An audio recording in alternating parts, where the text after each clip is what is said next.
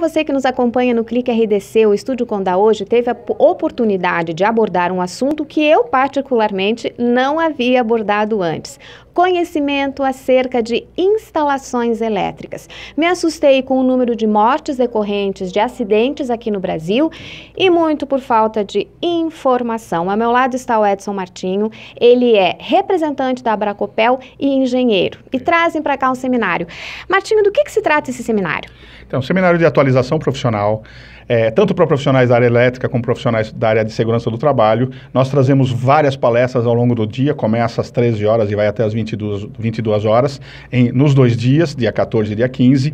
E o objetivo é trazer informações de normalização, de tecnologia e de, principalmente garantindo a segurança das pessoas. Então, o profissional que estiver participando desse seminário, desses dois seminários, ele vai adquirir uma série de informações e vai ter oportunidade, inclusive, de ter contato com produtos de tecnologias novas com os parceiros que vão estar conosco lá fazendo é, a exposição.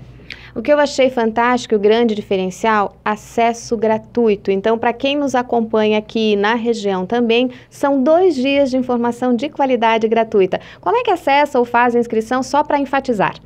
Então, nosso, ele pode fazer a inscrição através do portal abracopel.org.br na área de eventos. Os dois eventos já estão lá logo no, no comecinho. É só clicar, embaixo tem lá um link, clica, preenche os dados, já está inscrito. Tem, a, tem a, o local onde vai acontecer, na ONU Chapecó, no Auditório R.